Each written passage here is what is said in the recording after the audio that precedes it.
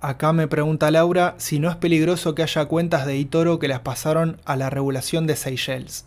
Es una pregunta que vi bastante, que me han hecho bastante también, porque ¿qué pasó?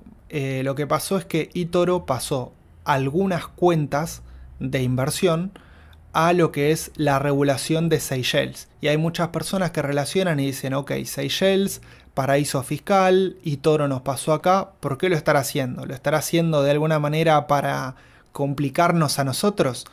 Em, y esto por lo que pude averiguar, por lo que pude consultar directamente de fuentes de Itoro, me han dicho que fue por un tema de que eh, los clientes de Latinoamérica quedaron como, eh, digamos, en, un limbo, como si, digamos, por así decir, que eh, los clientes de Latinoamérica el problema que tienen en los brokers es que en la mayoría de los casos no tienen una regulación local, sino que se tienen que adaptar a una regulación.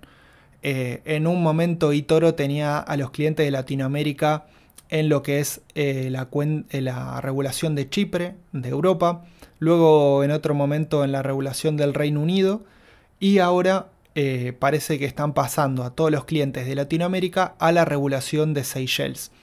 ¿Por qué lo están haciendo esto? Según eh, la fuente que consulté directamente de Itoro, bueno, es porque básicamente en Europa hoy en día no se está permitiendo depositar y retirar con tarjetas.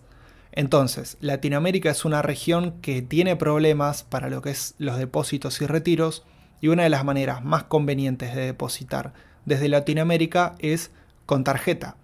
Entonces, eh, lo que hicieron es eh, pasar a los clientes eh, latinoamericanos desde la regulación de Europa a la regulación de Seychelles porque si no, estos clientes no podrían depositar con tarjeta porque en la regulación de Europa no está permitido depositar con tarjeta. Entonces, eh, bueno, lo que hicieron es esto, pasar todos los clientes de Latinoamérica a la regulación de Seychelles, que sí, puede ser que, mm, tenga, digamos, eh, mala fama entre algunos inversores, pero recuerden que estamos hablando de eToro.